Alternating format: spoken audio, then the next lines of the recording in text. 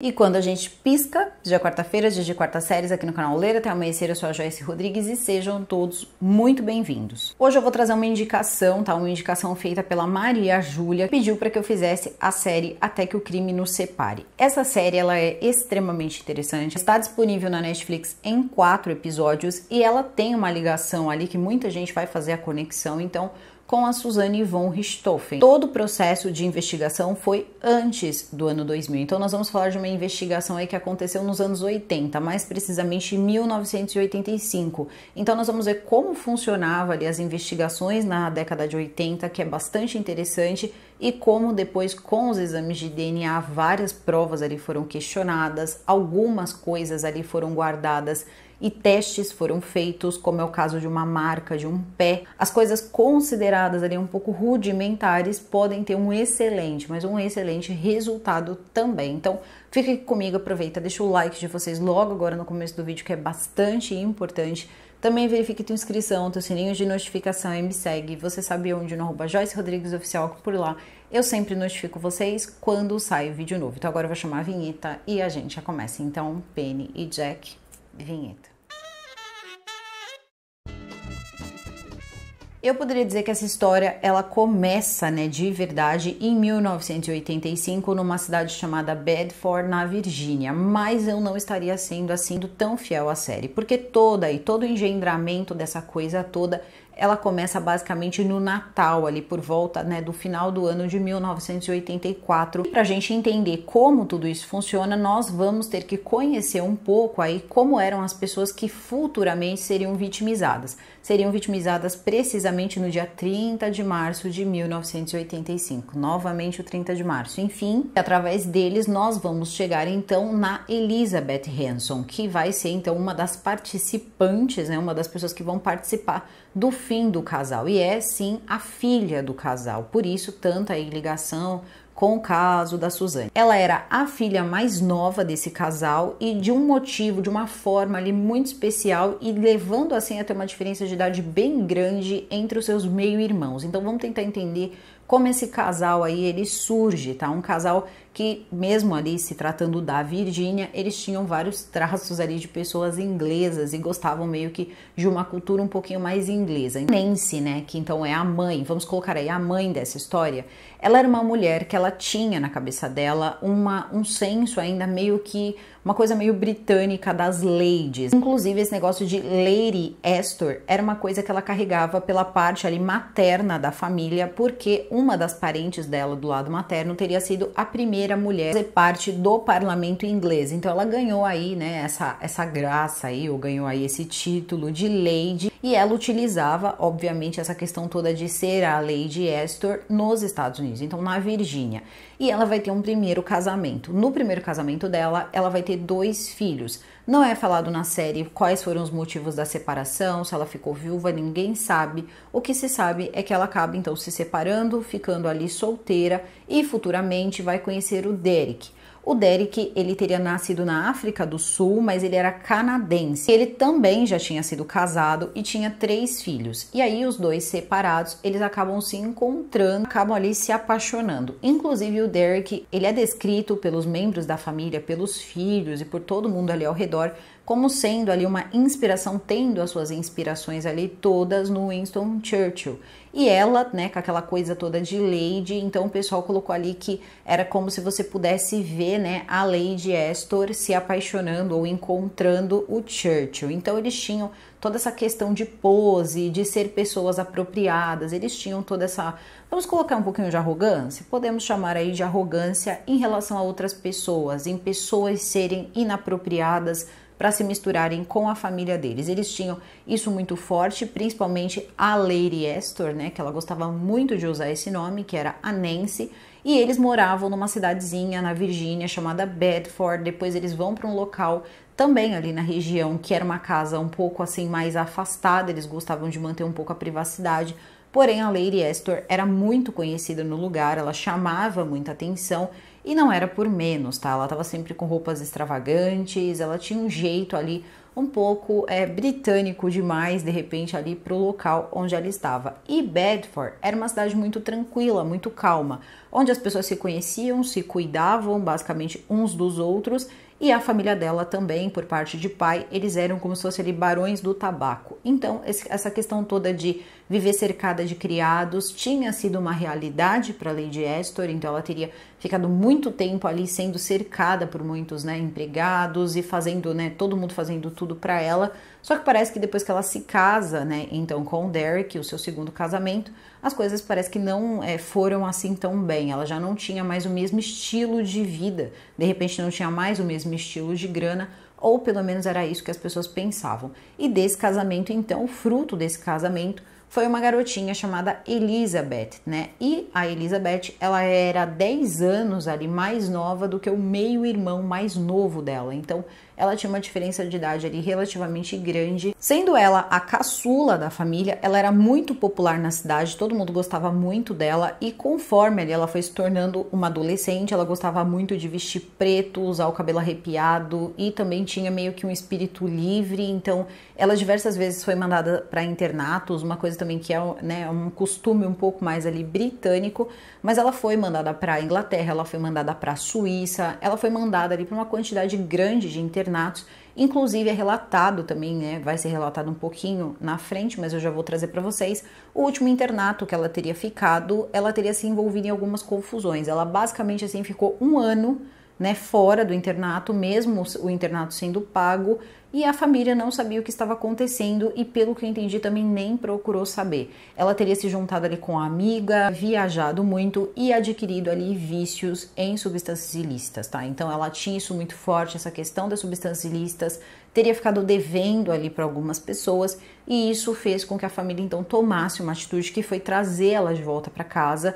E ela era uma menina muito querida, mais uma vez os irmãos ali gostavam muito dela e as pessoas ao redor também, ela tinha muitos amigos então eles decidem trazê-la para casa. Bom, depois, né, que tudo isso acontece, provavelmente o Derek, porque o Derek ele é descrito também como sendo uma pessoa metódica que gostava das coisas de forma muito correta, começaram ali a tomar conta de tudo, com quem ela se envolvia, os amigos, para onde ela ia, se ela realmente estava frequentando as aulas. E segundo a Elizabeth e também outras pessoas da família, a Nancy, né, a mãe então da Elizabeth, ela tirava toda, quase toda ali a privacidade que a filha dela tinha, inclusive fazia visitas na universidade onde ela estudava, né, na Virgínia, em horas assim totalmente ali fora, né, do esperado, para ver de repente se a filha estava fazendo alguma coisa.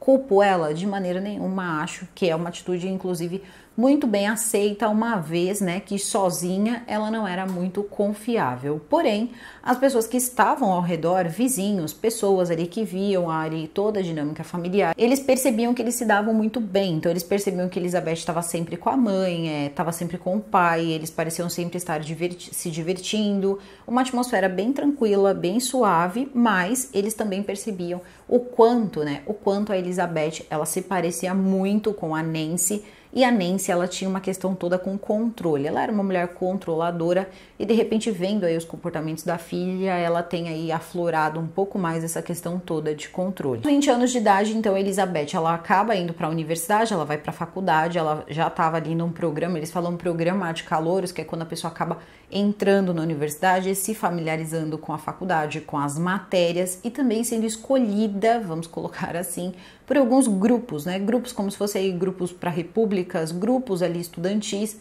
e eles teriam é, escolhido ali um grupo de pessoas extremamente inteligentes para colocarem todas ali juntas, então fazendo assim uma turma e acabam escolhendo a Elizabeth. A Elizabeth, ela era de fato uma garota extremamente diferente. Ela era muito inteligente, ela tinha um sotaque diferente também, ela tinha um sotaque mais britânico. Ela tinha ali várias características que faziam dela quase uma contradição perto dos outros alunos. Por quê?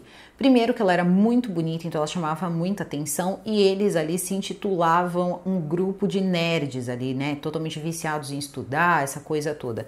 Só que ela, além de ir muito bem e ser muito inteligente, ela também tinha comportamentos que os outros não tinham, como por exemplo, viajar bastante, sair bastante, fazer diversas coisas diferentes dos outros, ter um pensamento ali todo, vou ser escritora, uma coisa meio espírito livre, e também tinha toda uma questão em relação as substâncias ilícitas, que era uma coisa que ela não conseguia ali perder, enfim, o vício. Ora ela usava mais, ora ela usava menos, mas sempre ali envolvida né, com algum tipo de substância. Garotos se apaixonavam muito facilmente por ela, então sempre tinha ali garotos e garotas ali atrás dela, né? Meio que assim o tempo todo ela era bem assediada ali, o pessoal sempre queria uma chance com ela, porque ela era descrita como sendo uma pessoa muito legal, uma pessoa muito simpática, muito, né, com pensamentos ali muito para frente, uma pessoa muito estudada, então todo mundo gostava muito ali da companhia dela. E o interessante nessa série é o seguinte: existem algumas pequenas, tá? Pequenas partes ali em que as partes elas são dramatizadas. Porém, grande parte da série, eu diria que quase 70% da série é feito com material original da época. Então, a gente percebe como to, tudo isso aí que aconteceu acabou sendo registrado em imagens de uma forma ou de outra, sendo ali imagens em vídeo, imagens em foto, não importa. Mas tudo ali você consegue ver como tudo aconteceu, incluindo julgamentos, o que me deixou assim muito feliz, porque é super legal assistir e tal, e a gente vê como é que foram aí, né, como que o desempenho aconteceu e as caras de pau também das pessoas é bem interessante aí de perceber e meio que a série não poupa ninguém, tá? Em relação a nomes, por exemplo, de pessoas que queriam assumir a Virgínia nos Estados Unidos, entre também outros tipos de interesse, porque depois vai surgir uma figura que era filho ali de uma pessoa importante. Isso ainda nem apareceu uma das pessoas que fazia parte ali do grupo da Elizabeth na faculdade, que era o Hans Sorin. Era filho de um diplomata alemão, uma pessoa totalmente desinteressante para as garotas ali que estavam ao redor. As pessoas diziam que ele era um pouco ríspido, que ele utilizava assim umas armações de óculos muito pesadas e que ele era uma pessoa antiquada, enfim, todo mundo tinha adjetivos bem ruins ali para falar dele, até meio, né, complicado, mas que ele também era bem inteligente, mas ele vivia ali meio que perdido ali, né, naquele espaço, naquele local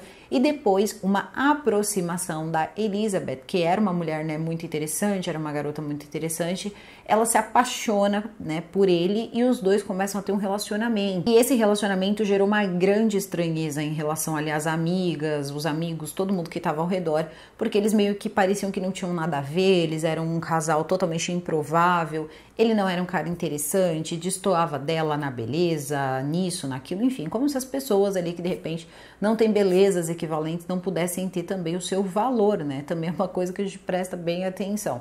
Mas todo mundo é, parece que tinha uma mentalidade ali um pouquinho diferente. E lembrando, tá? Os anos é 1984 para 1985 e coisas como essa e até bem piores do que essa aconteciam sim. Bom, tudo parecia estar fluindo bem ali na vida da Elizabeth, com o namorado dela e toda a vida dela acadêmica, estudantil e tudo mais. E a família estaria em casa, tinha passado Natal e no dia 3 de abril de 1985, a polícia de Bedford recebe uma ligação e recebe ali também um endereço. As pessoas, como elas se conheciam no local, elas descobrem então que era da família Hanson que eles estavam falando. Então eles vão lá, né? Enfim, várias viaturas chegam no local e quem acabou ligando para a polícia disse que se tratava de uma cena, né, uma cena de crime. Então a polícia já chega meio que assim sabendo que o que encontrar não era nada bom e as pessoas conheciam o casal. Isso fez também com que muitos policiais ali comentassem que estava sendo falado da, né, desse casal, do casal Hampson,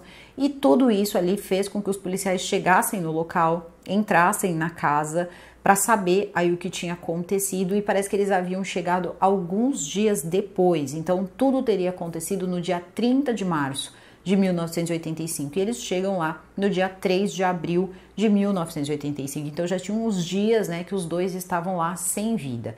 E o que a polícia encontra quando a porta é aberta não é uma cena muito interessante, assim de ser é detalhada, né, em minúcias. Aqui o que eu posso dizer para vocês para não comprometer o vídeo é o seguinte: ambos estavam sem vida e a casa ela estava basicamente pintada de fúria vermelha. Tinha vermelho por todo lado. Era o chão da cozinha, tinha também pelas paredes, pelos móveis tinha também um pouco no banheiro, tinha em vários lugares, assim, nada ficou é, sem ter pelo menos ali um rastro, né, o rastro de sangue.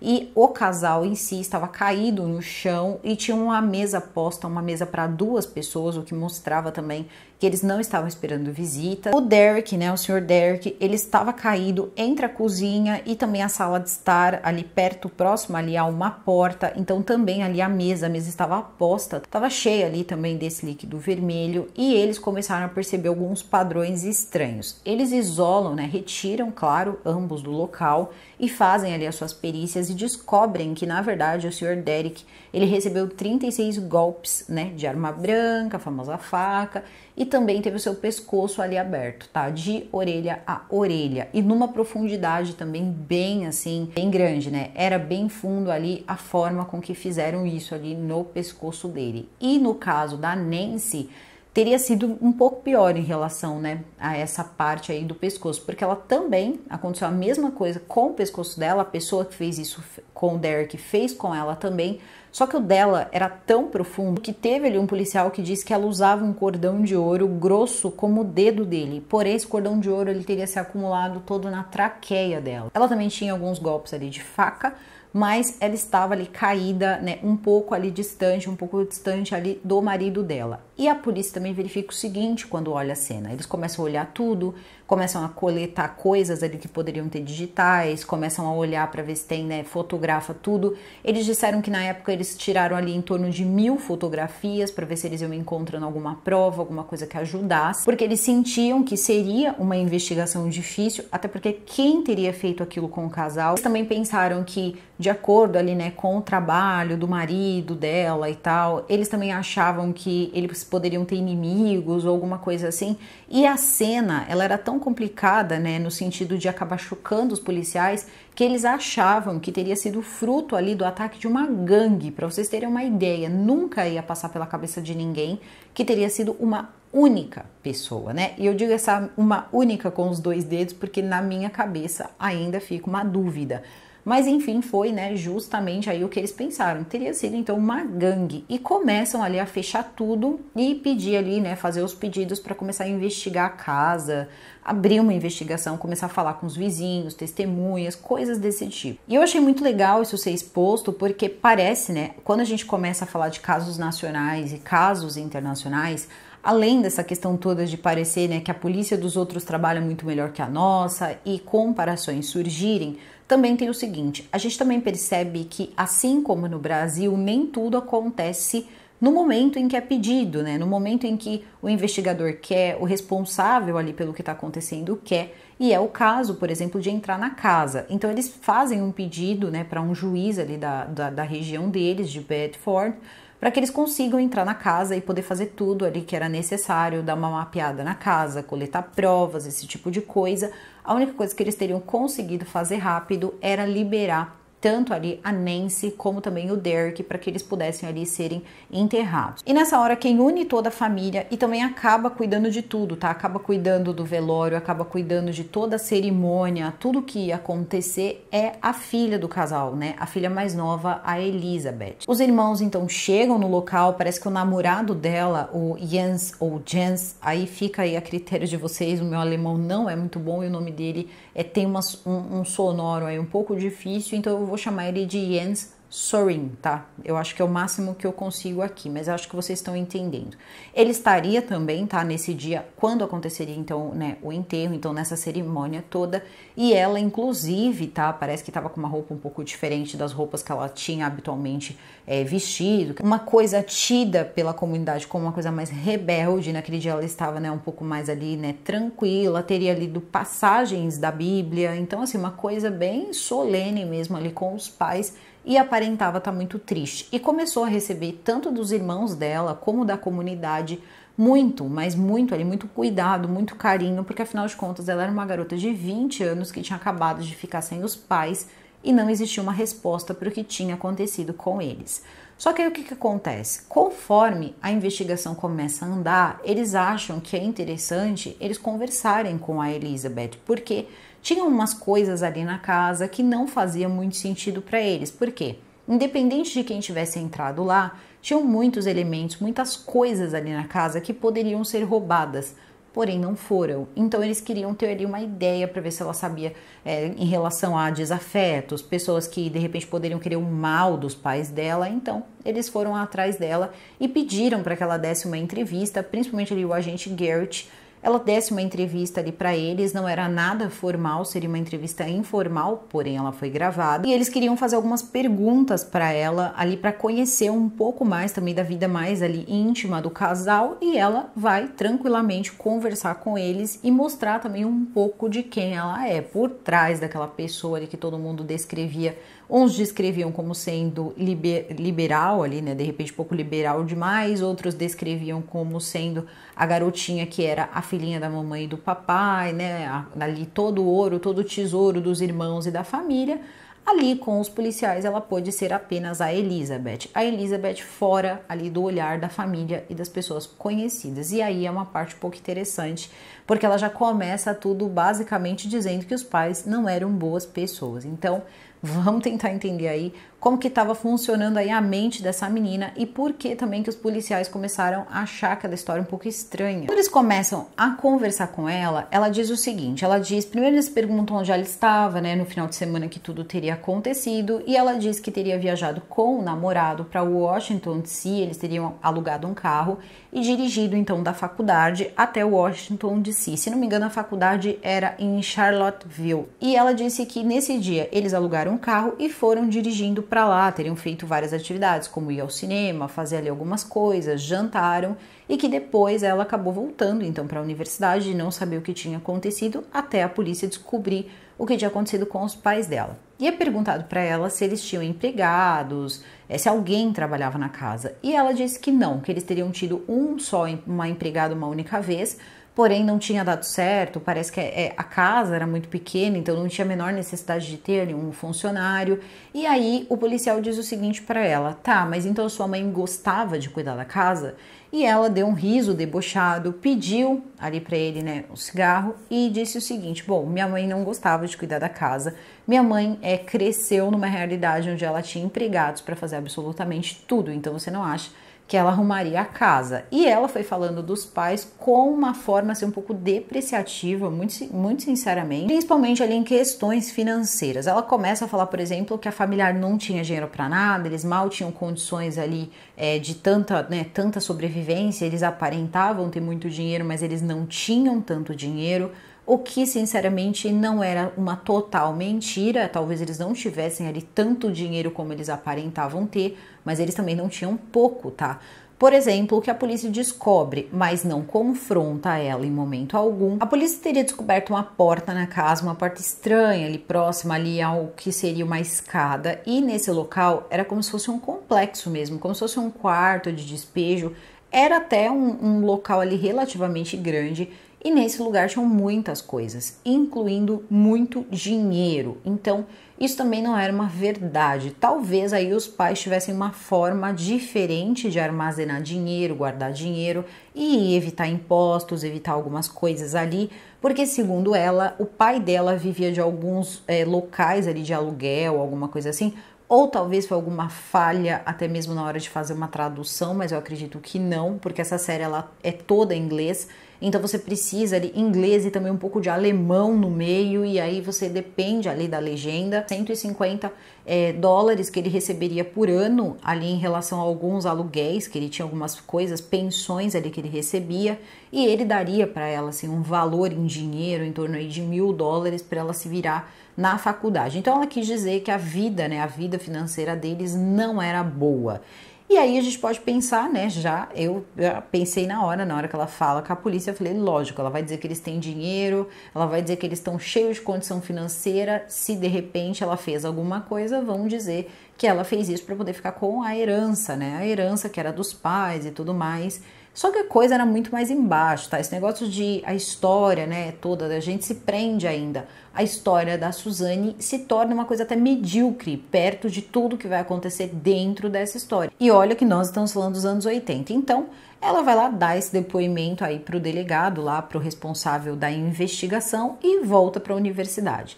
Só que aí eles começam a achar, mais uma vez, eles vão encontrando coisas ali, eles vão encontrando pegadas, tá? Pegadas que teriam sido feitas no local e alguns elementos que roubam aí um pouco da história, e eu acredito que por isso foi apresentado, mas de forma breve no documentário, que é o seguinte: eles começaram a achar que o que tinha acontecido ali no local tinha elementos ocultistas ou alguma coisa ligado aí a uma seita, por quê?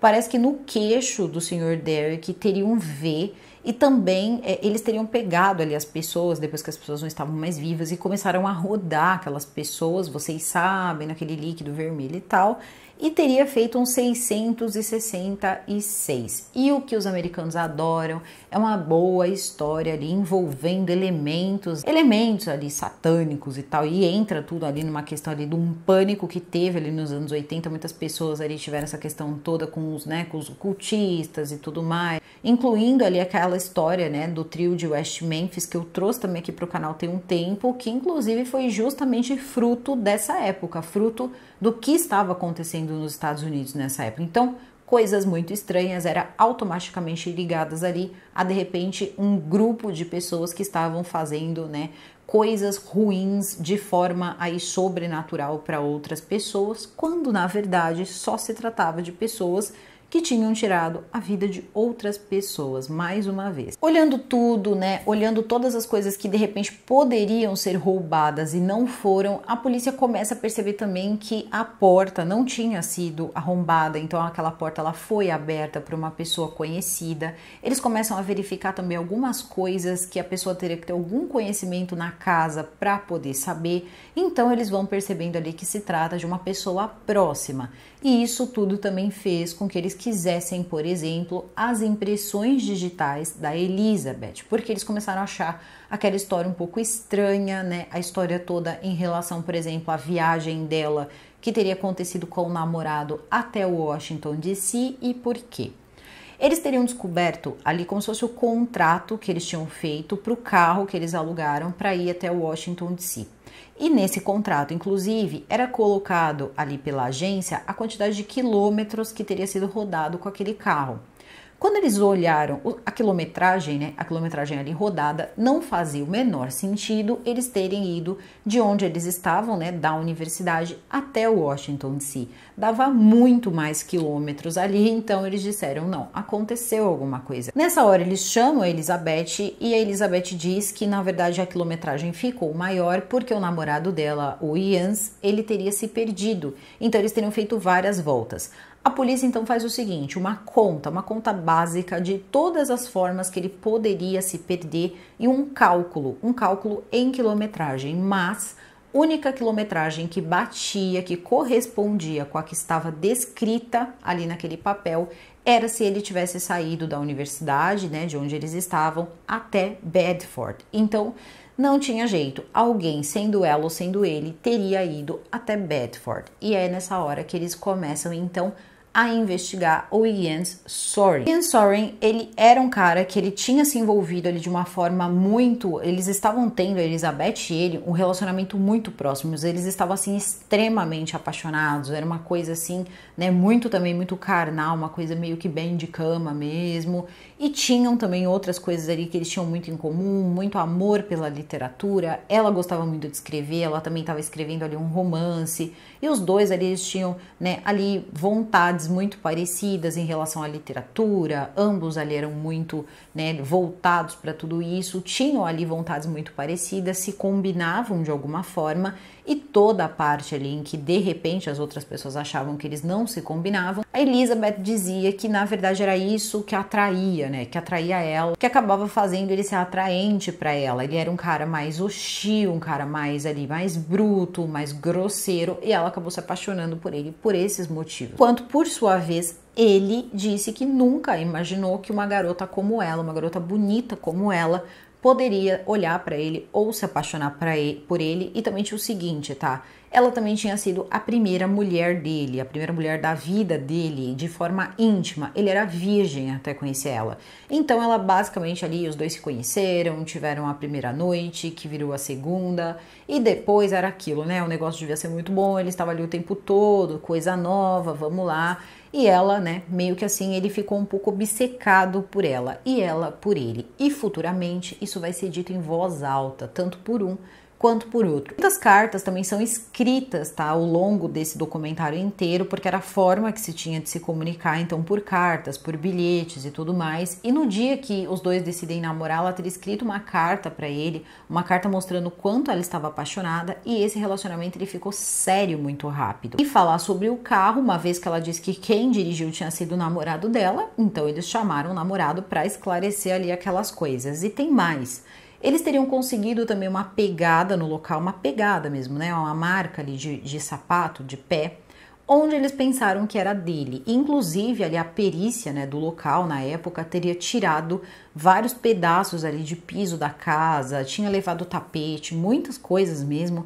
E eles queriam fazer um confronto ali com ele, pediram ali o tamanho do pé dele, coisa que ele nunca deixou eles terem o tamanho do pé, nunca deixaram nada assim referente a eles. E ele começou a agir de uma forma, vamos dizer, talvez até segura demais dizendo que ele não ia fornecer diversas informações que a polícia estava perguntando.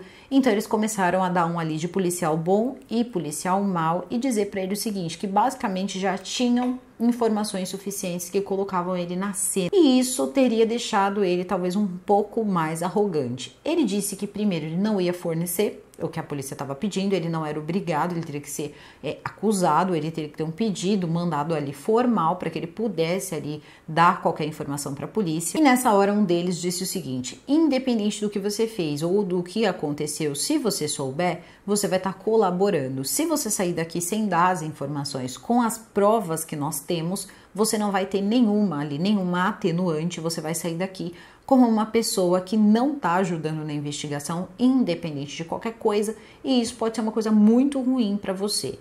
Ele basicamente disse o seguinte para os policiais: eu vou voltar para a universidade, eu vou pensar a respeito e, dependendo, eu volto aqui e converso com vocês ou era muito excesso de confiança ou ele realmente era muito imaturo. Ele devia ter por volta dos seus 19 anos aí nessa época, porque ele era um pouquinho mais novo que a Elizabeth, provavelmente ali uns dois, três meses. Só que quando ele volta, a ação, a atitude dele é totalmente diferente. Ele e Elizabeth, eles teriam abandonado o carro, né, o carro que eles usavam ali ao, ao redor, ali pela faculdade, no local, então eles não pegaram o carro, teriam deixado cartas, cartas de despedida ali para familiares e também uma carta para a polícia, uma carta é, dizendo ali que o Garrett ele tinha quase certeza que eles iriam é, ser presos ou ser pegos, basicamente assumindo que eles tinham alguma coisa a ver com isso e que as coisas não foram tão fáceis assim para a polícia. Então, eles tiraram um sarro, né? Na verdade, nesse caso foi o Hans mesmo que acabou tirando aí um sarro na cara, né, do Garrett, que era o principal investigador aí desse caso.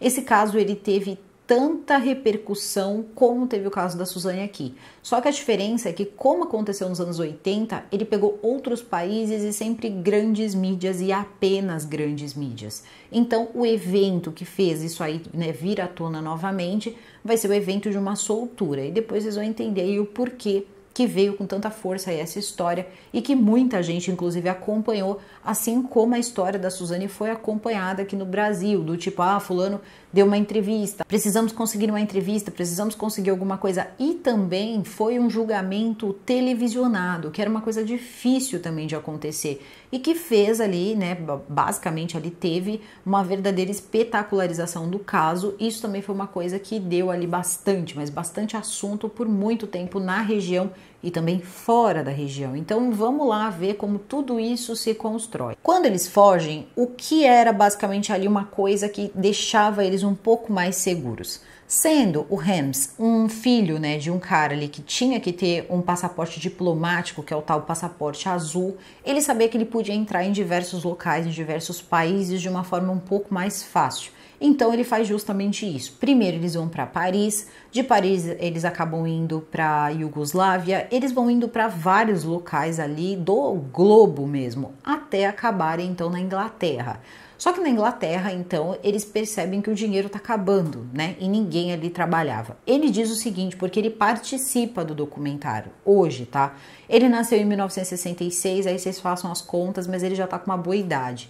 Ele participa, Elizabeth não participa. E ele conta então para os documentaristas que ele então se segurava aí, né, nessa questão toda de ter um passaporte que era mais fácil de passar Porém, ele sentia muito medo. Tanto ele quanto Elizabeth, eles queriam se proteger e eles tinham medo de trabalhar, ter empregos normais e acabarem sendo presos ali, sendo descobertos. Eles, eles achavam ali que todo mundo sabia quem eles eram. Numa época que as coisas não eram assim tão, tão simples. Principalmente em outro país, se eles tivessem agido normalmente, eles teriam ficado tranquilamente vivendo em outro país e ninguém nunca teria feito nada contra eles. Mas, ao invés de trabalhar, que eles tinham medo que trabalhando alguém pudesse descobrir aí o que eles fizeram, o que aconteceu foi que basicamente eles decidiram é, ter ali uma nova forma de ganhar dinheiro. Eles fizeram muitos passaportes falsos, então eles podiam passar cheque, né? Eles conseguiram até mesmo cartões e tal. Então eles iam em uma loja e passavam ali um cheque. Depois que eles passavam o cheque numa loja de roupas ou algum artigo assim, eles voltavam no dia seguinte, diziam que o tamanho não tinha ficado bom, eles queriam o dinheiro deles de volta. E lá eles devolvem. Então, eles acabavam pegando todo esse dinheiro e iam se sustentando com esse dinheiro. Inclusive, quando eles forem ali descobertos, eles já vão ter uma quantia boa guardada, em torno aí de 6 mil libras. Então, isso é bastante coisa e aí a gente vai entender como eles vão ser encontrados, afinal de contas, porque a polícia da Virgínia não tem a menor ideia onde eles foram parar. Seis meses depois, então, de tudo que aconteceu com a família Hanson e né, o Garrett está procurando, né, essa galerinha aí, esse, esse casal que basicamente que já assinou uma confissão, né, indiretamente, acabaram ali assinando. Eles estariam tentando fazer compras em uma loja quando uma segurança de loja achou o casal estranho por algum motivo que também não é comentado ali no documentário. E ela fez o que? Ela ligou diretamente para o policial de Londres. E esse policial, conhecendo, então essa moça conhecendo, né, essa funcionária, ele sabia que quando ela achava alguma coisa estranha, era quente, podia prender porque tinha alguma coisa errada. Ele não prende de cara, mas ele diz então que era para levar o casal para a delegacia para eles acabarem conversando ali. Quando os dois chegam, ele também teria pedido para que fossem até o local em que eles indicaram que eles moravam e o desse ali uma olhada, né? Desse uma olhada na casa, meio que assim também sem muita permissão, né? Conversando com os dois, os dois tentaram dar algumas desculpas ali, mas enquanto isso, tinha a polícia que estava no local, no apartamento que eles moravam. E quando eles chegam no apartamento, meu Deus, gente, vocês não têm ideia, tinha de tudo ali, basicamente um flagrante completo naquele apartamento sacolas de roupas que eles utilizavam para dar esse golpe, sacolas de dinheiro que eles já tinham conseguido ali dando o golpe e várias, mas várias identidades falsas, desde passaporte, identidade mesmo, muita coisa falsa que, segundo, né, enfim, o pessoal da Inglaterra eles teriam conseguido na Tailândia, como se de repente na Inglaterra eles não fossem conseguir, mas tudo bem. Eles também teriam encontrado muitas perucas, era uma coisa também que tinha muito lá, tá? Perucas de todo jeito e aquilo chamou bastante atenção, é óbvio, só que aí eles encontram coisas muito mais concretas, muitas cartas mesmo ali empilhadas e um diário. Então, isso aí tudo dava uma ideia, por exemplo, do nome deles. Então, eles começam ali a perceber quem eram aquelas pessoas, se tratava da Elizabeth e do Hems.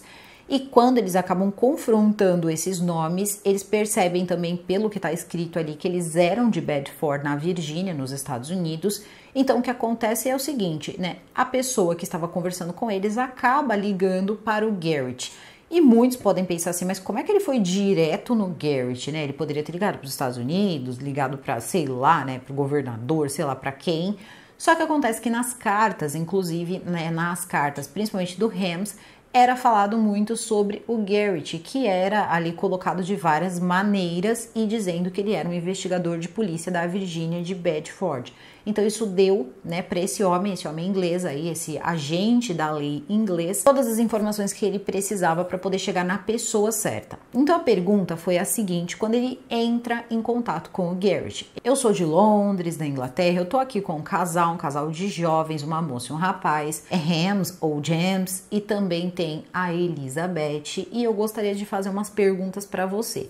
Nessa hora ele já sabia de quem se tratava, ele diz o seguinte: esses dois aí, eles são daí, você está procurando por eles? Ele diz sim. E ele faz uma seguinte, né, uma pergunta seguinte também para o Garrett. Ele fala: houve alguma coisa, aconteceu alguma coisa com os pais dessa moça? E ele diz que sim. Ele diz: eles estão sem vida e vocês estão procurando por eles? E aí o Garrett diz que sim. Então ele mata a charada ali na hora que os dois estavam fugindo porque os pais, então, né, da Elizabeth não estavam vivos, né? E que isso teria acontecido de forma criminosa e que aquilo ali era mais uma fuga, parecia uma fuga e no fundo era uma fuga. Então o que aconteceu agora, daqui para frente, é um pouco diferente aí, né? Porque cada um vai tomar um rumo e eu acho extremamente interessante. E agora, daqui para frente, né, devidamente identificados, o que o policial Garrett vai fazer é avisar o procurador quase que correndo que ele precisava ir para Londres, ele precisava falar com os dois e que ele tinha encontrado, inclusive, os dois isso é permitido, então ele chega até lá, conversa com o inspetor de polícia de lá, né, de Londres, e eles acabam conduzindo o interrogatório lá mesmo, né, na Inglaterra. E durante esse interrogatório, eles acabam confessando. Tanto um confessa como o outro confessa que eles teriam sido os responsáveis pelo que aconteceu com os pais da Elizabeth. Nesse momento, a mídia, né, todo mundo ali começa a veicular que quem teria feito isso teria sido a filha, ou teria sido o genro, ou teria sido os dois juntos, enfim.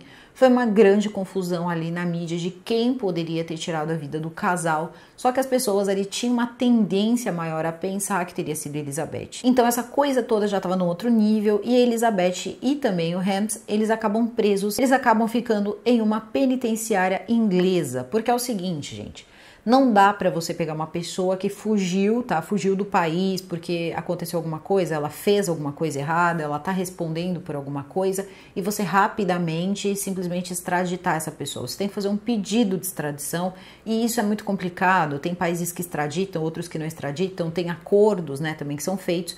No caso, Estados Unidos e Inglaterra tinha que ter um pedido de extradição só que no caso da Elizabeth, que era uma cidadã americana, os pais dela eram canadenses, só que no caso dele seria um pouco mais, porque ele queria extra ser extraditado, mas ele queria ser extraditado para a Alemanha, porque lá as coisas seriam um pouco mais fáceis para ele e ele estava com medo né, da pena capital que existe nos Estados Unidos. Então ele decidiu que ele não ia aceitar, ele não queria ser extraditado para os Estados Unidos e ele faz o pedido de extradição para a Alemanha. Ela, ainda na penitenciária na Inglaterra, escreve uma carta para ele dizendo que não quer mais nada com ele. Então ela termina com ele por carta e diz que ela não o ama mais e que ela estava voltando para os Estados Unidos, ela iria confessar o que ela fez e pagar ali a dívida dela com a sociedade, independente do que isso fosse custar para ela, porque nesse momento tanto um quanto o outro só estavam com uma preocupação, que era não pegar a pena capital, porque era uma grande possibilidade. Então, ela decidiu começar a agir de uma forma diferente e ambos vão começar a agir de formas bem diferentes aí ao longo de décadas. E é sobre isso que a série também fala, porque ela mostra quase ali quatro décadas, basicamente, aí da história desses dois e também a estadia dos dois nas penitenciárias. Eu também gostaria de apontar aqui, deixar muito ressaltadas as diferenças, tá? Quando Elizabeth ela chega no país, obviamente, né? É tudo demonstrado na televisão, quando o avião chega, uma coisa, né, totalmente acompanhada e tal. A família dela não quer muito assunto com ela, não, tá? Então, ela arrumou um advogado, tinha ali uma prima que ainda acompanhava ela, mas os irmãos, ninguém, tá? Os irmãos não aceitavam ela, não aceitavam o que tinha acontecido, tinham grandes desconfianças dela. Uma vez que já, né, o Rams, as coisas eram diferentes. Ele tinha o pai que foi até a penitenciária e Rams, as coisas eram diferentes. Ele tinha o pai que foi até a delegacia, que foi até a penitenciária e perguntou para ele se ele tinha feito o que diziam que ele tinha feito, se ele tinha tirado a vida daquelas pessoas. E ele disse que era uma coisa abominável, mas sim, ele tinha feito, ele assumiu para o pai dele. Então o pai foi lá e contratou advogados, advogados muito bons, que começaram a tentar então fazer essa extradição dele para a Alemanha. E para conseguir isso, ele precisava contar, por exemplo, para o representante que foi até a Inglaterra, o que ele tinha feito para que assim eles vissem ali a necessidade e também a discrepância da forma de se aplicar a lei e colocassem ele, enfim, né, na pátria ali dele, na pátria correspondente, que era a alemã. Então ele teria também confessado, ele confessou na Inglaterra, ele confessou também para esse né, homem, para esse agente que acabou vindo da Alemanha para também para a Inglaterra para ouvi-lo e saber se eles iriam extraditar ou não. Então ele confessa para essas pessoas porém o pedido de extradição dele para a Alemanha é negado, e isso fez com que ele se deparasse com a realidade que era a seguinte: ou ele acaba preso na Inglaterra ou ele acaba preso nos Estados Unidos, e aí as coisas já estavam caminhando a passos largos no tocante de já tinha audiências e coisas já estavam acontecendo com a Elizabeth e a Elizabeth estava abrindo a boca geral e colocando ele numa situação que não era nada favorável no caso dele, principalmente se ele não estivesse lá para se defender. E essa foi uma posição que ele mesmo se colocou. Em maio de 1987, então dois anos ali depois de tudo, né, de tudo que aconteceu, a Elizabeth ela chega na Virgínia e logo depois tem uma audiência. Nessa audiência, as pessoas tinham muitas perguntas em relação a ela. Ela já estava mais uma vez com o advogado e também totalmente ali reconfigurada, pelo menos ali da forma, né, da identidade visual dela. Ela estava utilizando muito preto, muito branco, sempre roupas muito sóbrias, cabelo preso de uma forma diferente. Realmente uma moça ali muito alinhada, muito madura em tudo que estava falando, porém um olharzinho assim um pouco frio. E ela começou a ser ali interrogada, perguntas começaram a ser feitas para ela e ela se declara culpada. Então ela vai no tribunal, declara a sua culpa, talvez ali também já numa tentativa de evitar, né, a pena capital, porque isso também pode ajudar a evitar. E ela começa a colaborar bastante. Perguntas são feitas para ela o tempo todo e ela conta a seguinte história sobre o que aconteceu. Agora é uma batalha de versões.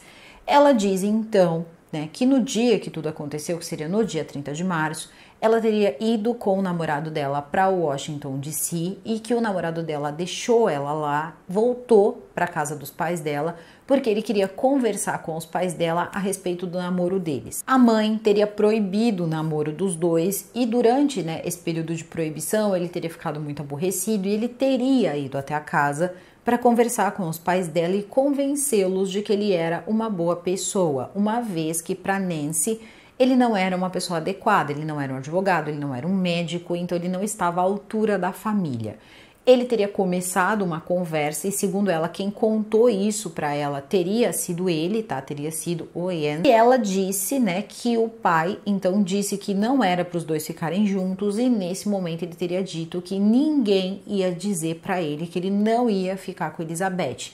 Nessa hora começam as lutas, começam os golpes, tudo começa a se desenrolar daí para frente e ele, ela vai dando ali descrições de como toda aquela cena teria acontecido. Então, Segundo ela, ele teria ido até o local para tentar convencer o pai dela e a mãe dela e tudo teria saído do controle, ele teria acabado com a vida dos dois e depois ele teria voltado, tá, pro local.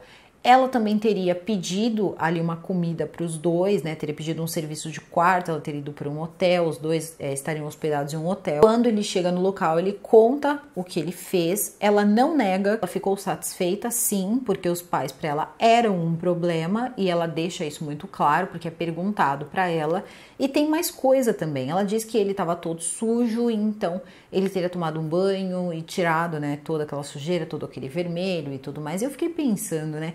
Como é que entra num hotel assim, de repente, né? Depois de tudo aquilo, a pessoa deve estar tá do pé à cabeça, tudo vermelho, e entrou pelo hotel e andou pelo hotel e ninguém percebeu nada, né? Enfim, tudo bem. E depois disso, os dois então teriam seguido a vida. Porém, né, é perguntado para ela por que, que ela não chamou a polícia, uma vez que ela, né, não tinha feito nada e também não queria que aquilo tivesse acontecido e estava triste por seus pais dela.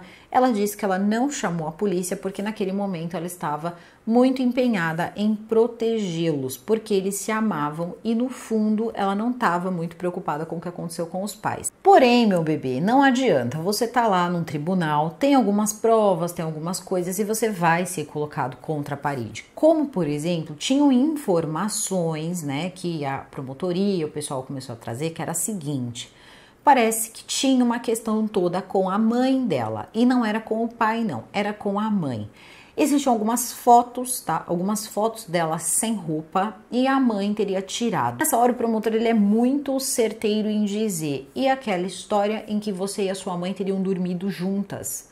E eu achei assim essa frase um pouco estranha, porque o que teria acontecido não teria sido bem a mãe e ela dormindo juntas, mas sim a mãe ali se aproveitando dela, sendo ela ali uma pessoa que estava à mercê da própria mãe. Isso já é bizarro por si só, só que ela teria contado e talvez utilizado essa história para poder inflamar mais ainda o Rams e ele acabasse tomando uma atitude. Então, naquele momento, ela diz que isso era mentira, tá? Que não era verdade e ele até disse: se isso for mentira, você fala e limpe aí a moral da sua mãe. E ela disse que era mentira, que isso não tinha acontecido, mas que ela tinha falado isso sim para poder induzir então o Rams a fazer isso com a família dela.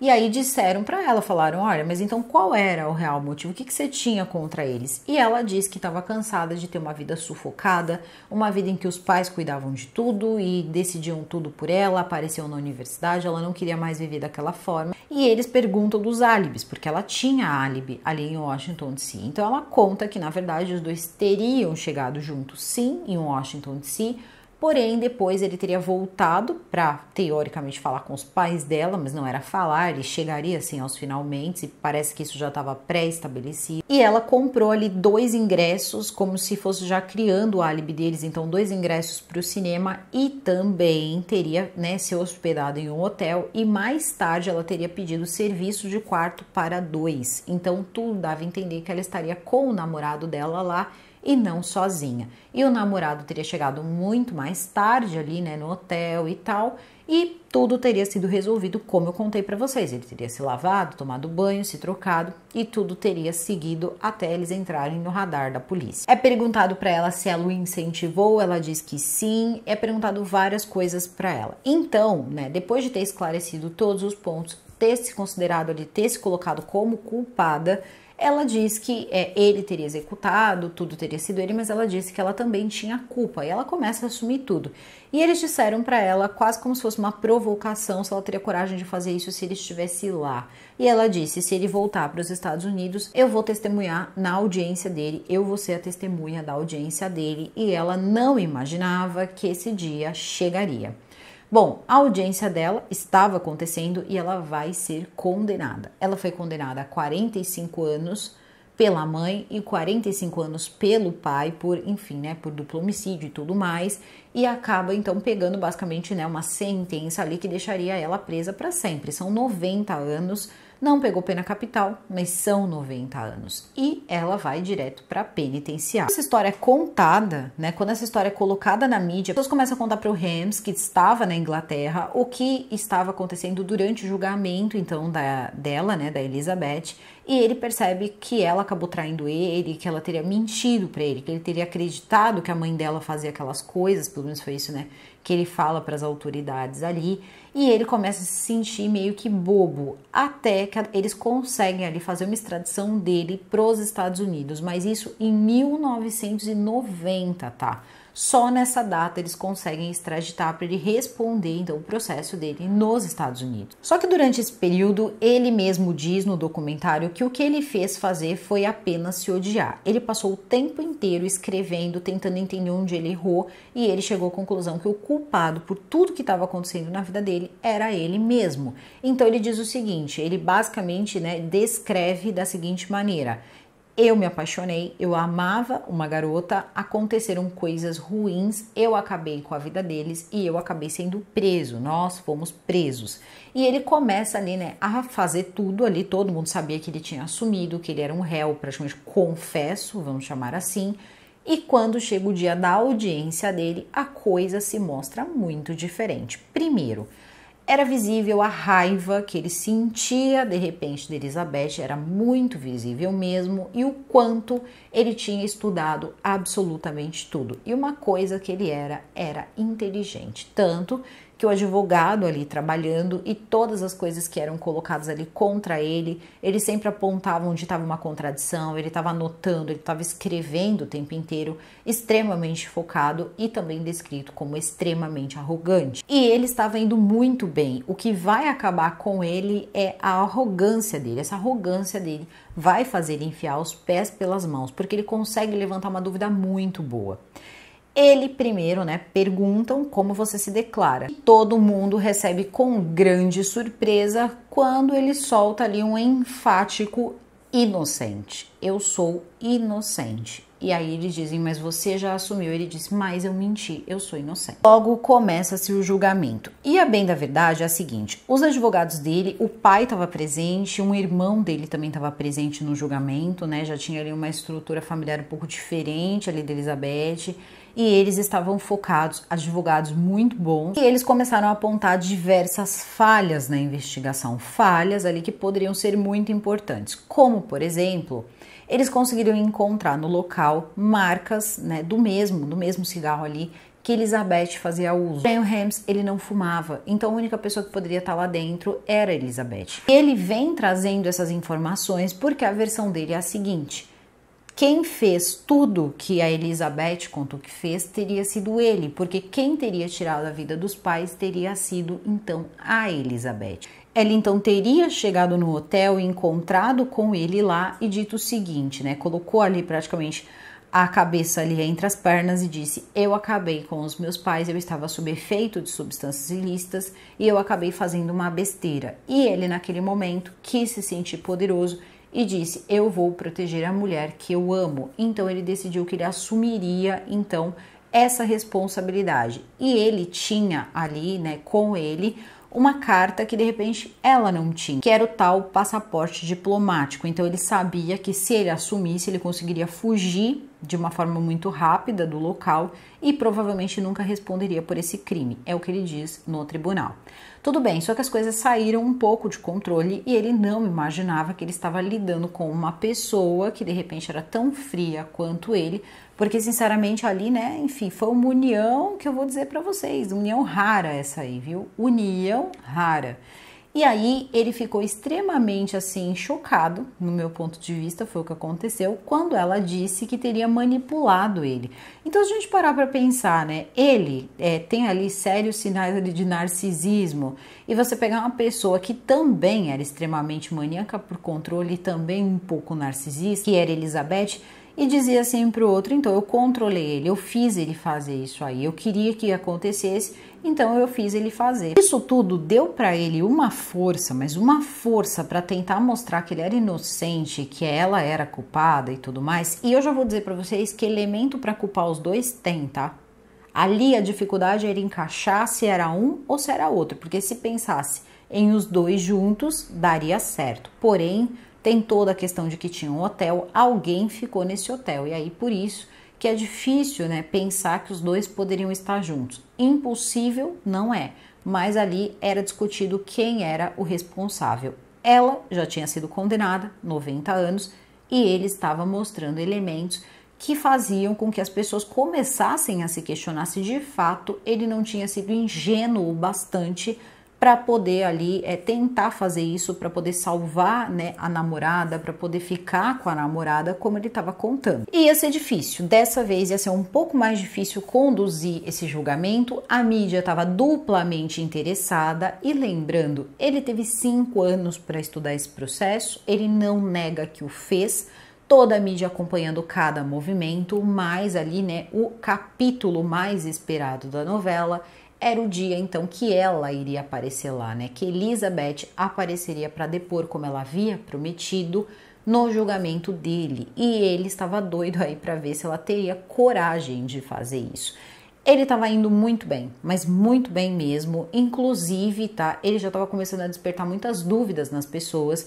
E a gente sabe que nos Estados Unidos, se uma pessoa não concordar, ele acabaria é, não pegando pena capital, ele tinha medo, ele tinha esse receio de pegar pena capital. Nessa hora, Elizabeth aparece para depor, tá? E também tem alguns questionamentos antes disso que começam a ser feitos, como por exemplo, por que você mentiu? Ele diz. E aí perguntam para ele o seguinte: quantas vezes você já mentiu para se proteger? Porque você mente muito bem. e ele disse que algumas, mas não né, nessa, nesse quesito aí de proteger pela própria vida, teria sido a primeira vez. E eles começam a mostrar que de repente, que de repente ele era muito bom em mentir para se proteger. Porém, o outro lado da moeda também não era diferente, porque Elizabeth, quando chegar para dar o seu depoimento, ela vai começar a contar todas as coisas, como as coisas teriam acontecido, ela vai repetir tudo aquilo que teria sido ele e tudo mais. E algumas coisas também são questionadas pelo advogado dele em relação a ela. E novamente a questão da mãe com ela, aquela questão delicadíssima, né, da mãe com ela, vai ser perguntado para ela. Ela estava completamente diferente, ela parecia uma mulher já mesmo, uma mulher bem vivida, enquanto ele continuava parecendo uma criança, parecia um garoto ali. E ele perguntou para ela em relação à mãe, e ela e ele disse: "E agora você vai dizer que é mentira, que isso nunca aconteceu?" E ela vai dizer que não, que aconteceu sim, mas ela não queria falar sobre isso. Então, é uma coisa que não adianta, sempre vai pairar aí essa dúvida. Segundo uma prima que acompanha e também o irmão da própria Nancy, eles têm essa desconfiança de que acontecia assim. Então, talvez fosse uma coisa ali que a família até soubesse. E em relação ao pai, parece que o pai até sabia, mas fazia vista grossa, acabava é, não falando nada sobre o que acontecia. Mas a mãe, ela era um pouco ali, enfim, tinha essa coisa e doentia ali com ela. E aí nenhum outro irmão falou nada, mas também ninguém consegue ter ali elementos para contestar que isso acontecia mesmo. E isso é uma história que vende, as pessoas gostam de ouvir isso, né? Ah lá, Suzane. Suzane convenceu muitas pessoas, incluindo, né? Colocam-se ali que ela convenceu o próprio Cravinhos ali, contando essa história, mas em relação ao pai. Você ouvir isso em relação à mãe também é uma coisa que convence. E aí, né, o próprio advogado diz que por que que então ele não acabaria é, sentindo dó dela, porque ela teria dito que fez o que fez, porque ela estaria tendo dívidas ali com substâncias ilícitas, tinha toda essa questão complicada com a mãe e por isso o namorado sentiu dó dela e a cobertou.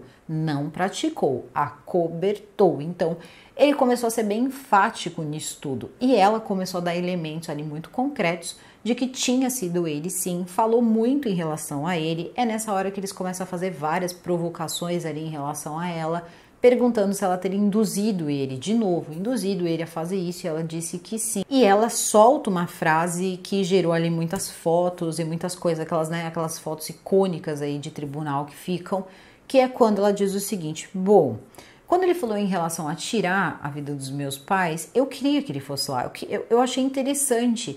É estranho, parecia perturbador, mas era interessante pensar nisso, porque parecia tão improvável. Ela quis dizer assim, ele parecia tão incompetente e de repente será que ele teria essa competência?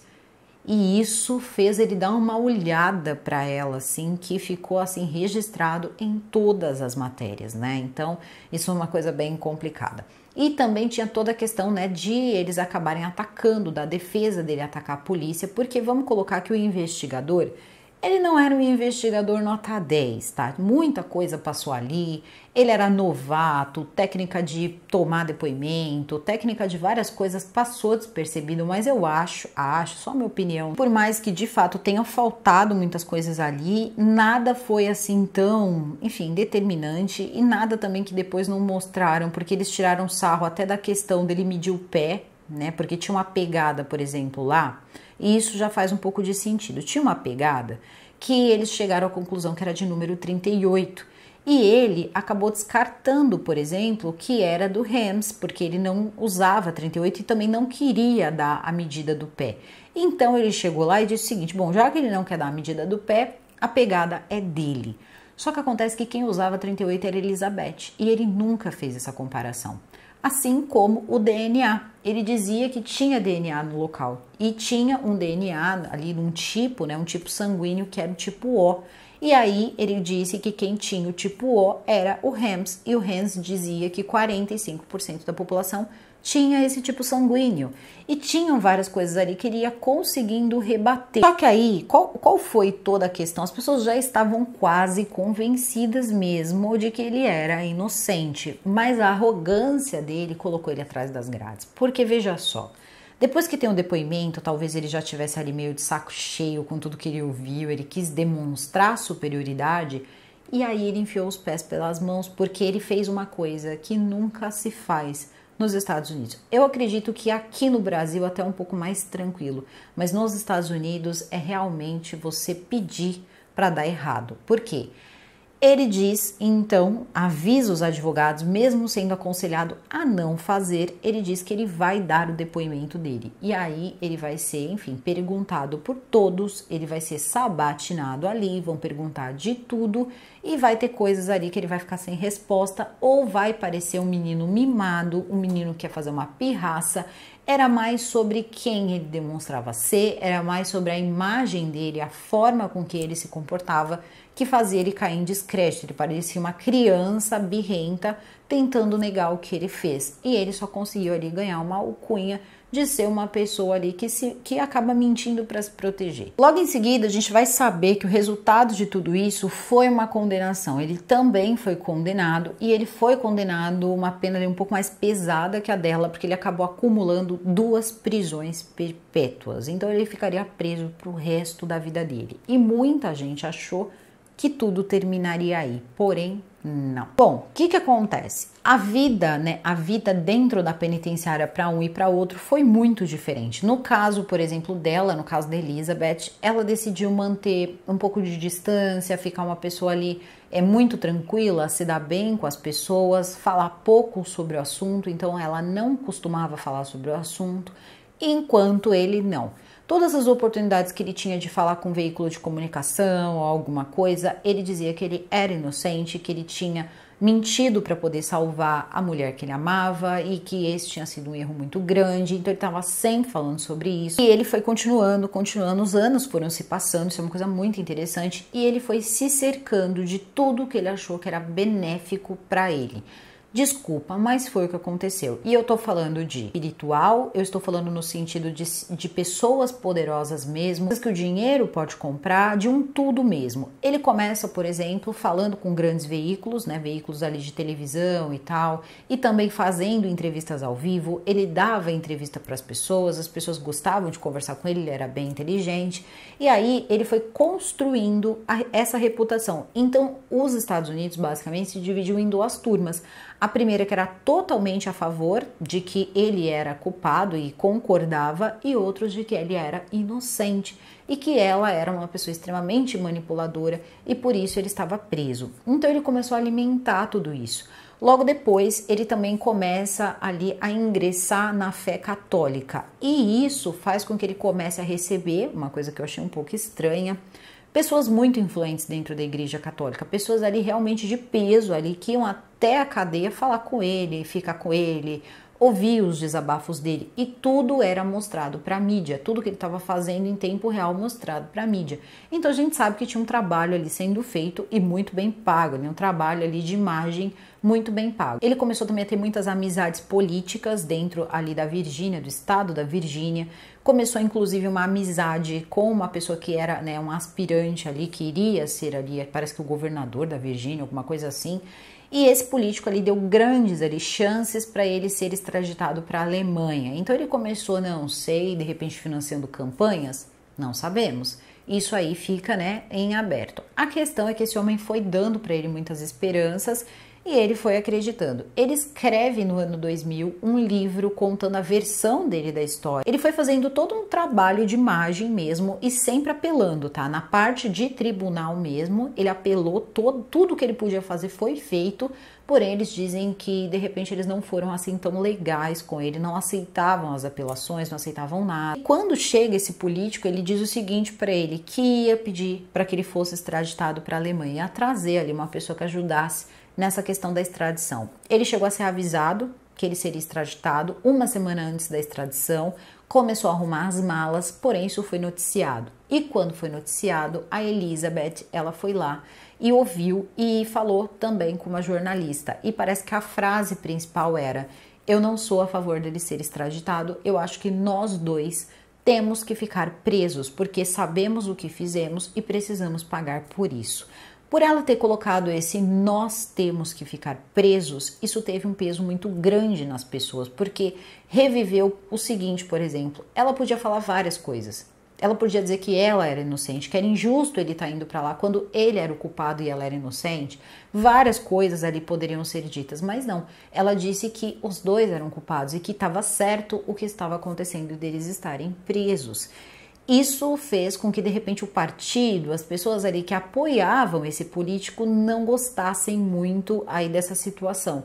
E ele acaba sendo eleito. E aí o que acontece? Assim como ele foi eleito, né, e ficou muito feliz, o Hans fica muito triste, porque a primeira coisa que ele faz quando ele é eleito é revogar o pedido de extradição do Hems. Então, se ele deu bastante dinheiro para esse político, ele alimentou à toa o político, porque quando ele ganhou, ele simplesmente pegou tudo e esqueceu que o Rams existia. Isso nós estamos aí de 2009 para 2010. Tudo continua do mesmo jeito, Elizabeth continua contida, recebe ali alguns familiares que acabam visitando ela, porém tem um irmão que não, tá? Inclusive, durante os julgamentos, principalmente no julgamento dela, um dos irmãos dela disse o seguinte: quem garante que ela não estava na casa também? Isso é uma coisa também que fica, né? Levanta-se, tem toda a questão da marca, guimba de cigarro, tem toda essa questão aí. E eu não sei, algo me leva a pensar que sim, estavam os dois ali. Eu também não acho, por exemplo, que ele seria capaz de ter feito tudo aquilo sozinho. Eu não sei, também achei muita coisa ali para ele. Talvez esse tenha sido aí também um dos motivos dela ter tirado esse sarro aí na cara dele por saber que de repente eles não contariam a verdade. A gente não sabe, né, de fato. Não dá para saber, gente tá falando de pessoas aí completamente ali, né, mentes criminais bem conturbadas. Então, se uniram ali e ficou perfeito. Aí virou, enfim, né? Não precisa, não tem nem denominação isso aí. Quanto isso, você acha que ele desistiu de jeito nenhum? Podia passar uma década, duas, estava indo já quase para três décadas e vários governos começaram a mudar, inclusive em questões da presidência, vários é, cargos ali grandes ali na política começaram a mudar e as pessoas começaram a olhar o caso dele como um olhar, com um olhar ali especial por ele ser alemão. Tinha toda uma questão de ter uma pessoa, né, de ter um alemão preso nos Estados Unidos por tempo demais. Eles achavam que era totalmente ali, absurdo uma pessoa passar a vida, né, numa penitenciária. Então eles acharam que ele já tinha cumprido tempo suficiente e já podia entrar para uma liberdade condicional sendo colocado na Alemanha. E nessa época, parece que o presidente era o Obama e ele recebe então ali o ex-presidente da Alemanha, que chega então nos Estados Unidos com a missão de tentar a soltura, ali, a liberdade condicional do Ian Soren. E nessa hora, o que aconteceu foi o seguinte: ele conseguiu.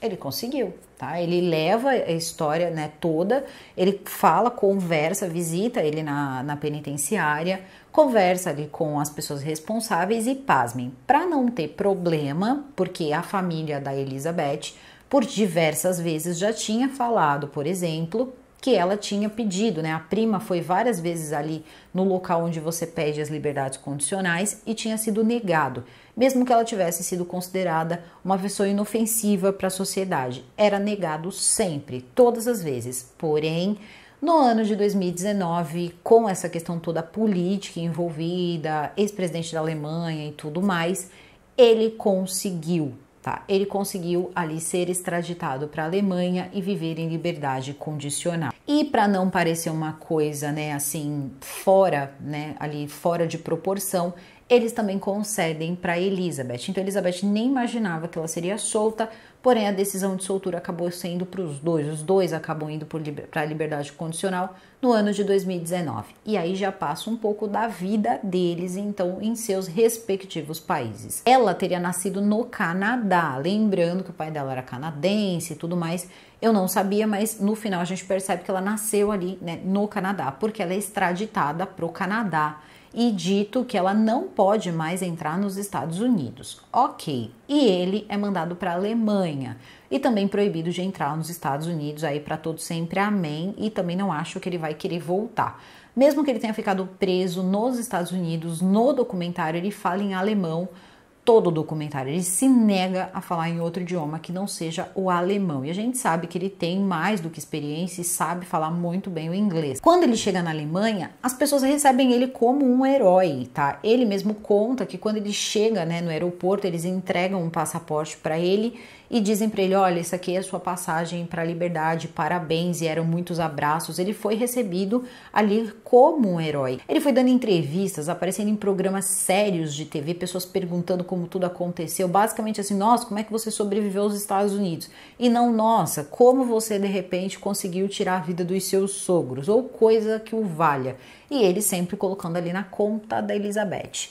A Elizabeth, por sua vez, o que, que ela fez? Ela foi viver a vida dela ali totalmente afastada no Canadá, onde ela foi aos poucos reestabelecendo meio que uma conexão familiar com alguns irmãos. Ela só não conseguiu com aquele que no tribunal disse que não duvidava que ela estivesse lá, que ele tinha ali uma desconfiança, que para ele não era o suficiente o que ela tinha dito.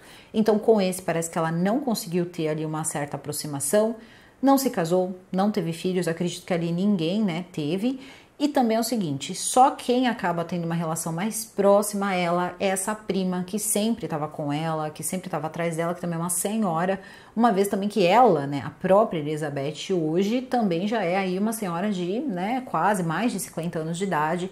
Então você percebe ali que é uma vida inteira ali que se perdeu e que no fundo ela só não ficou para sempre presa porque eles precisaram, né, soltar ela para poder, enfim, não ficar muito feia essa questão deles acabarem extraditando um rapaz, né, para Alemanha, uma pessoa que tinha teoricamente cometido um crime até maior do que o dela, porque ela, ela entraria ali como se ela tivesse sido uma pessoa que induziu, uma mentora do que aconteceu, né? Teria sido ali uma uma Suzane e ele teria sido um, enfim, um Daniel, vamos colocar dessa forma. Só que, segundo ele, não. Segundo ele, foi o contrário. Ela teria feito, ele teria acobertado e ele tem essa narrativa até os dias de hoje. E agora, rapidamente, eu vou falar sobre uma parte da série que é a chegada do DNA. Tá? Então a chegada do DNA ele trouxe a resolução de muitos casos antigos que não tinha solução, não tinha exame de DNA e eles começam a fazer vários exames e descobrem que na verdade na casa tinha mais dois padrões genéticos masculinos, dois DNAs masculinos que estavam na casa, que não eram nem do, do Hans, que também não era do Derek. Então eles começaram a desconfiar que eram dois moradores ali de rua que estavam fazendo coisas parecidas com outras pessoas e que teriam entrado lá de repente num acordo junto com Elizabeth, que era uma usuária, lembrando, né, ela era uma pessoa que fazia uso de substâncias ilícitas, que poderia ter contratado o serviço deles. Por isso que também não tinha sido arrombado, coisa que quando eles apresentaram eu já achei absurdo. Porque você pensa, tá, ela fazer uso né, de substâncias, então ela contrata eles que também fariam uso de substâncias e eles entrariam numa casa cheia de coisa para roubar e não levariam nada.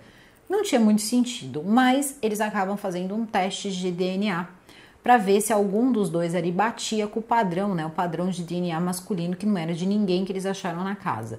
Porém, não era de nenhum dos dois. Então não adianta, não acharam aí essa terceira pessoa na minha opinião, essa, pessoa, essa terceira pessoa, esse terceiro padrão, ele não existe. Um DNA guardado por muito tempo e que também pode ter se misturado ali, misturado com outras coisas, e isso influi muito no resultado do DNA e pode dar ali vários é, resultados ali falsos. Então, a gente pode presumir ali que não tinha mesmo ninguém. E a questão da pegada, né? A pegada que eles tinham encontrado, que era uma certa pegada de meia, uma meia pegada, né? Mais ou menos isso eles chegam à conclusão do seguinte: ele teria dito que aquela pegada no dia do julgamento dele, o Rams ele disse que uma pegada de meia poderia ser dele ou dela, que aquilo não definia nada e que aquilo tudo era obsoleto, foi colocado como obsoleto. E é legal porque assim, no ano de 2019 tinha uma podóloga PhD em padrão de pé e ela disse o seguinte, que parecia ser uma coisa arcaica, mas não era, e que inclusive tem muitas coisas no pé de uma pessoa que pode definir se aquela pegada é dela. Então ela faz um exame de padrão com o pé da Elizabeth.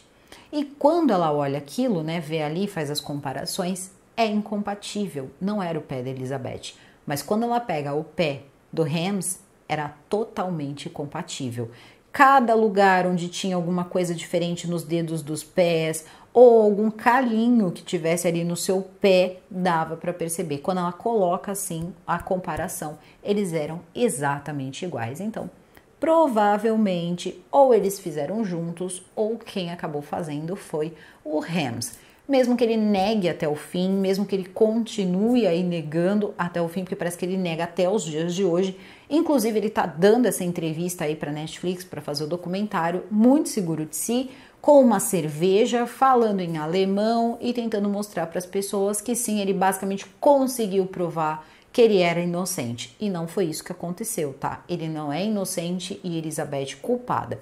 Ele simplesmente conseguiu falar com as pessoas certas e conseguiu ser extraditado para a Alemanha.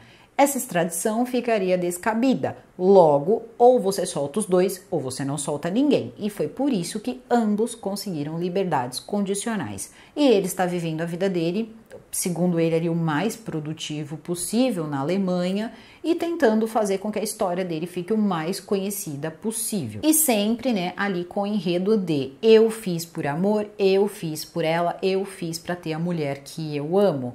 E aí a gente para e pensa que também seria muita burrice dela contar certas coisas se isso fosse verdade. Porque veja só, ela conhecia ele e se ele tivesse feito isso para cobertá-la, ela teria ficado quieta sobre várias coisas porque ele continuaria assumindo. Ela não tinha a menor necessidade de falar certas coisas. Então, a gente se pergunta se realmente ela não falou a verdade. Ela instigou que ela queria saber até onde ele ia e ela queria se livrar dos pais e ele foi lá e fez. E muito sinceramente acredita nele quem é bobo, tá? Porque ele pode até não ter sido o único autor, ele pode até ter sido enganado, ele pode ter, mas ele teve uma escolha. E isso a Elizabeth também falou. Ela falou: olha, eu fui lá, eu induzi, eu instiguei, eu fiz tudo, eu queria que acontecesse. Mas ele teve uma escolha, ele poderia não ter ido. Isso é uma fala fria? Sim, mas não é mentira. E ele também é uma pessoa condenada. Então, lembrando, ele foi condenado nos Estados Unidos. Tinha provas para ser condenado nos Estados Unidos. Então, por mais que depois revisitassem o caso, olhassem uma coisa que faltou, outra coisa que faltou, essas coisas que faltaram, não fazia de modo algum tá? Que ele fosse inocente ou que Elizabeth fosse inocente. E uma coisa também que, por mais que quem, enfim, conduziu as investigações tenha sido inexperiente, ele contou, eu achei interessante, porque ele disse assim: como é que uma pessoa ela vai mentir né, por três vezes, ela vai assumir por três vezes e ela vai dar a seguinte informação. Tinha coisas que não batiam, por exemplo, tinha um depoimento dele, né, um dos depoimentos, que ele disse que a mãe estaria de calça jeans quando a mãe estava de robe. Lembrando, estamos falando de uma pessoa muito inteligente, ele pode ter feito isso já para futuramente rebater caso ele fosse descoberto. Isso acontece, tá? Muitas pessoas vêm com esse, com esse papo aí, não, fui eu e assume e dá informações falsas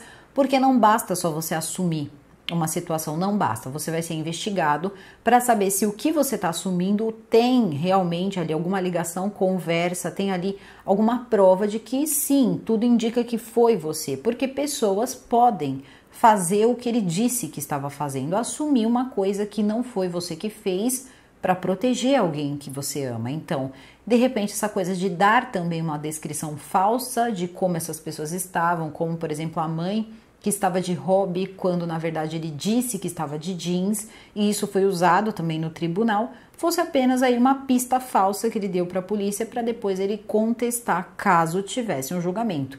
E ele era um cara que ele pensava muito à frente. Então isso é uma coisa que tem que ser bem também pontuada e ele estudou muito esses processos. Cada página, ele sabia onde estava cada linha de cada coisa. O depoimento dele dado, né, para aquele agente, aquele agente alemão, foi todo traduzido para que eles pediram para que fosse traduzido, né? O Garrett pediu para que fosse traduzido, ele leu e tudo ali tava igual, assim, certinho ali pau a pau com o que ele tinha contado pro Garrett. E aí o que acontece? O Garrett conta, né, e mostra também, porque tem uma fita, tudo isso a gente assiste, tá meio que em tempo real mesmo, como foi, todo o julgamento, tudo isso que eu contei que eles disseram é mostrado no tribunal. E aí é o seguinte, tem uma, uma parte que eu achei interessante que o Garrett diz que em uma das vezes em que ele assumiu, ele chegou a perguntar de um cachorro. Aí todo mundo achou estranho, eu até me perguntei, será que tinha cachorro na família? Só que não. Parece que quando ele sai da casa, ele teria na pressa, acabou ali acertando um cachorro na estrada e ele queria saber se o cachorro estava bem.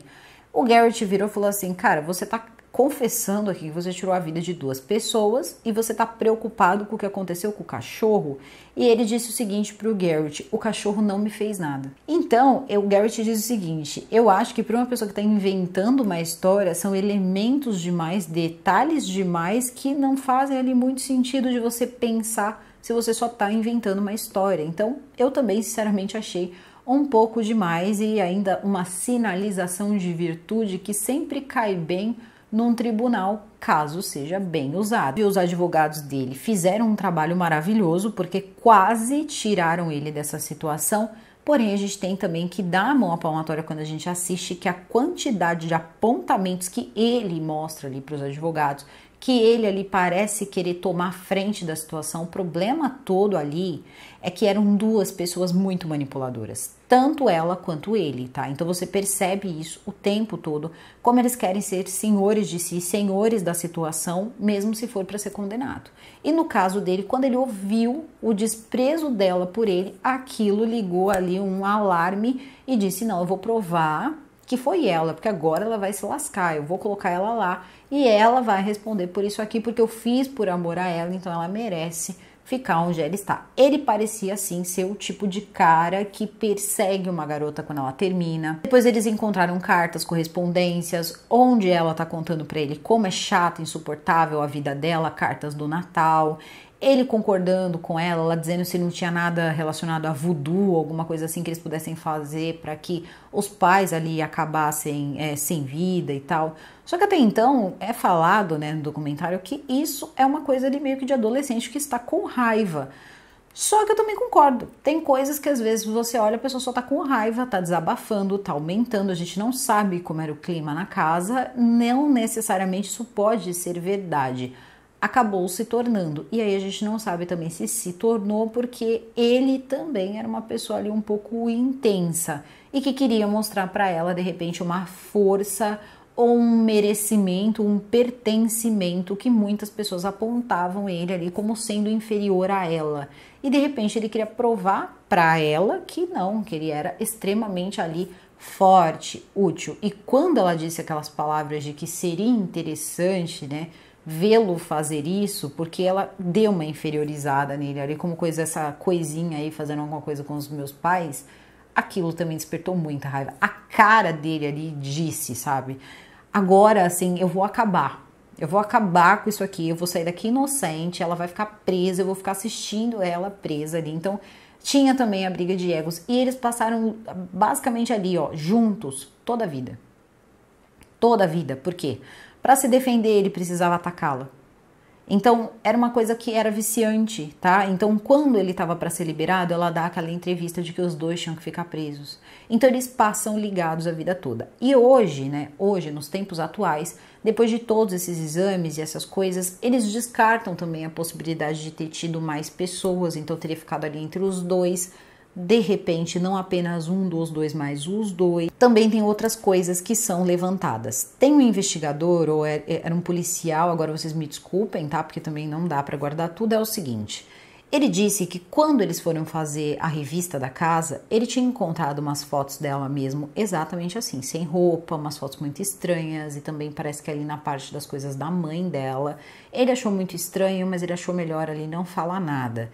E parece, né? Parece que isso aí era verdade, tá? Que ela tinha, assim, passado por uma situação abusiva ali em relação à mãe. Isso fez com que vários policiais ali prestassem atenção em tudo que eles encontraram, logo que eles encontraram o casal, e chegasse à conclusão de que isso poderia sim acontecer.